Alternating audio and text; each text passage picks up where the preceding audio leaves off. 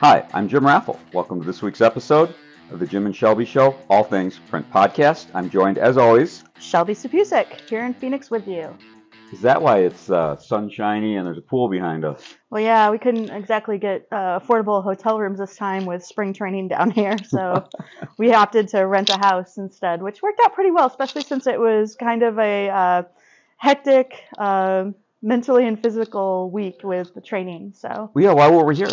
So uh, I'm sure you've heard Jim is a somewhat new in the last year or so G7 expert trainer. And so we are down here at Mutoh Americas facility in Phoenix, where he did his first uh, in person G7 expert training. And I was on the other side of the table this time, and I went through the training myself, and uh, we just finished the three day class.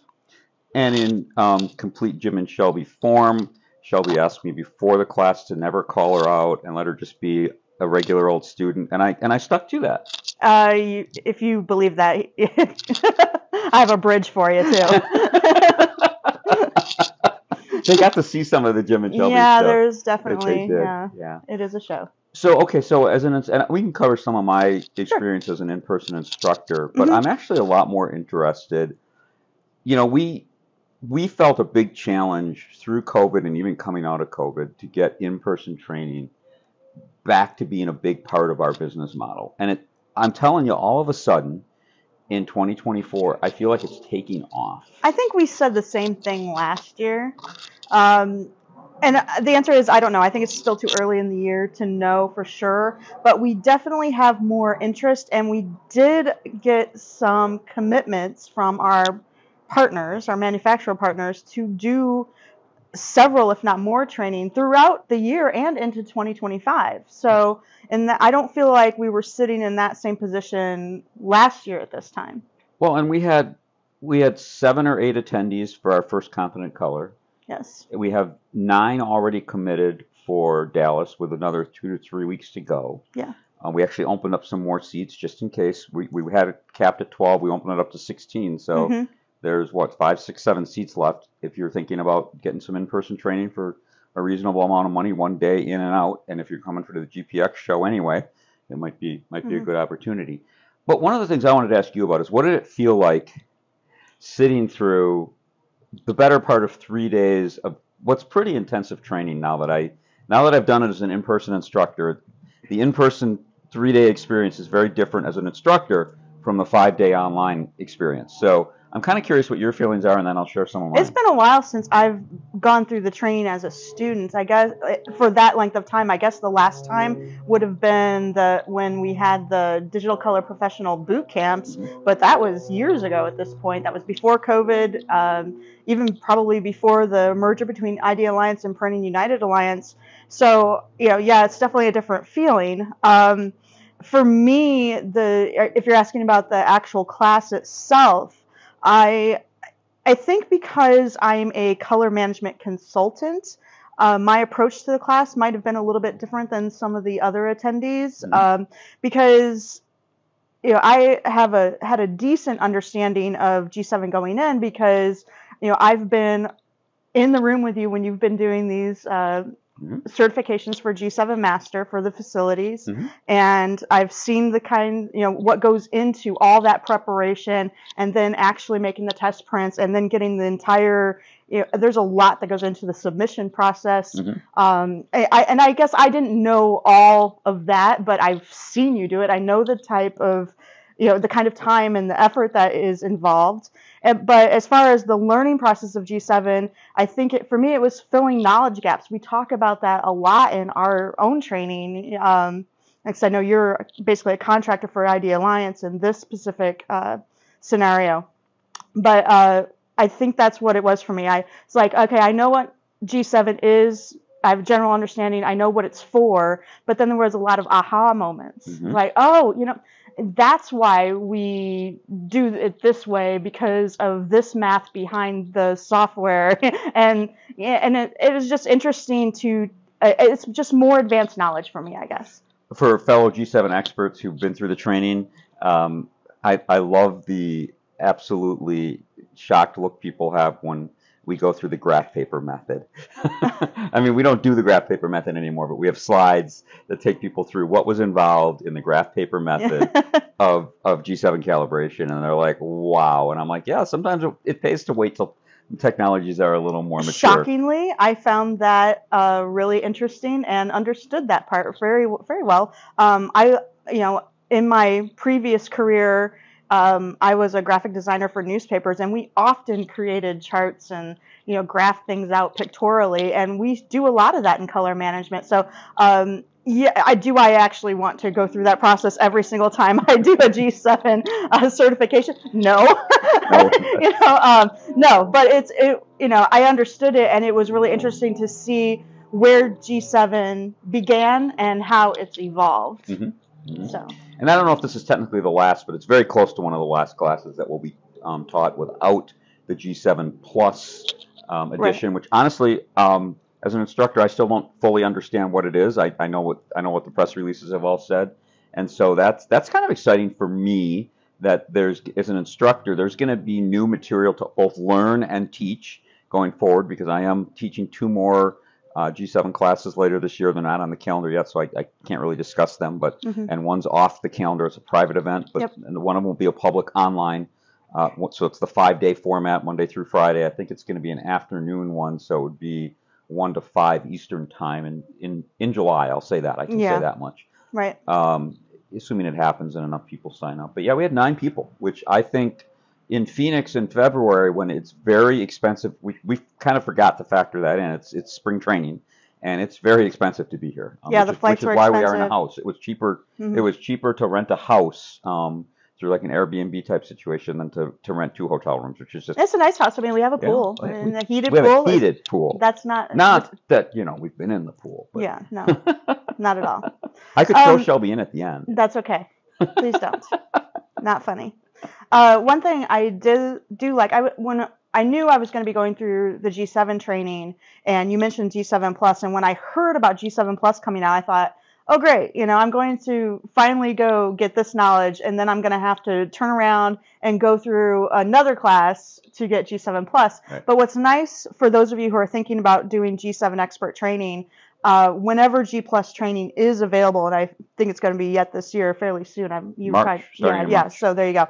Um, if you go through the G7 Expert training now, you get to go through that training and take that test without additional cost. I think it's anyone since September actually. yeah, okay, yeah. I, I didn't Yeah. know what the exact dates were, but I, I think it's nice that Idealliance is doing that for everybody as they're going through this, you know, even more advanced training that you can uh, get that included with what you pay because this is not a small investment to go through this training. time or yeah, time, travel, the actual cost of the class. Yeah, mhm. it's it's um it's a significant investment for people, and you know we had we had two companies that had each sent two people. Yeah. So that's the kind of commitment that people are making to G7, and I, I love it. I really do. I think it's Mm-hmm. it's a great technology. It's a great method and a great specification. specification.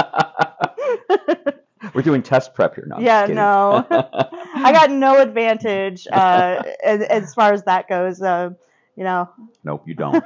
you might you might have a detriment, but uh, yeah. So it's uh, it was it was interesting being the instructor of an in-person class of this.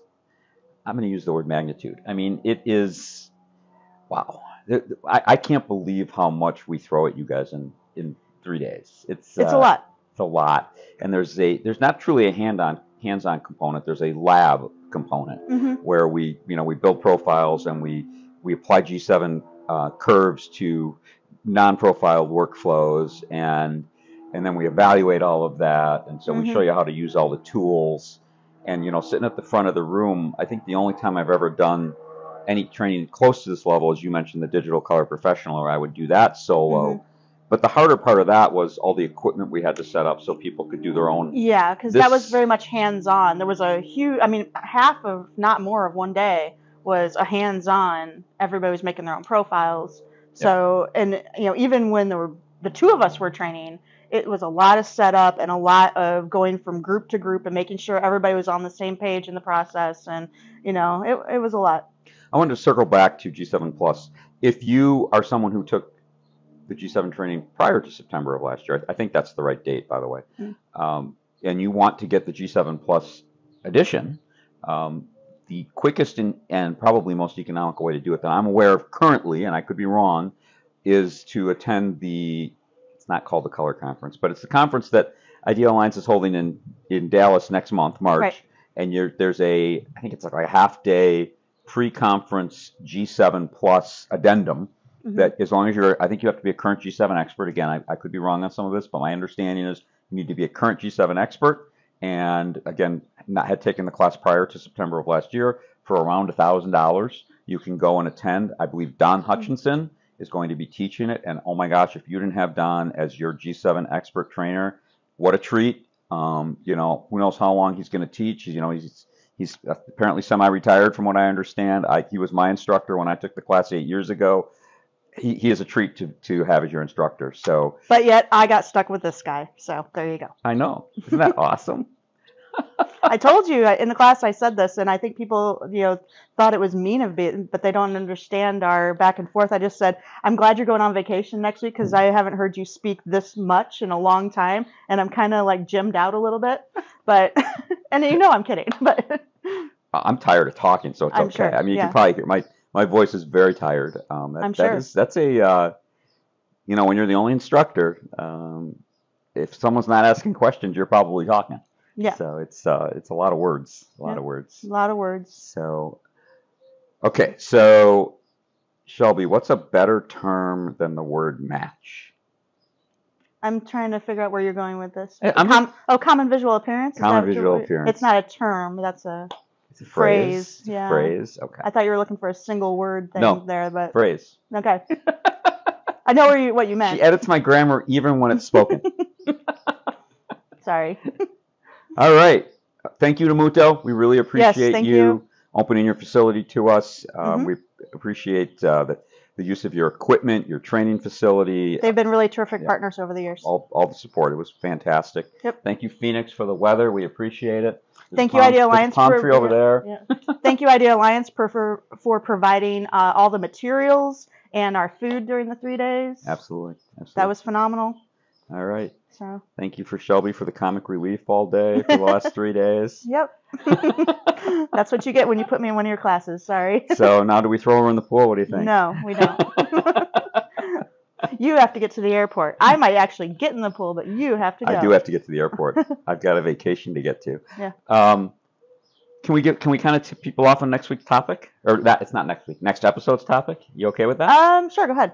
So we're going to talk about non-traditional design tools and um, artificial intelligence in the design space. And so, if you guys have questions about that or thoughts about that, and you want to reach out to us in all the different ways to reach out to us over the next week or so before we record that episode, if you have specific questions about what that looks like or challenges that you're facing, facing.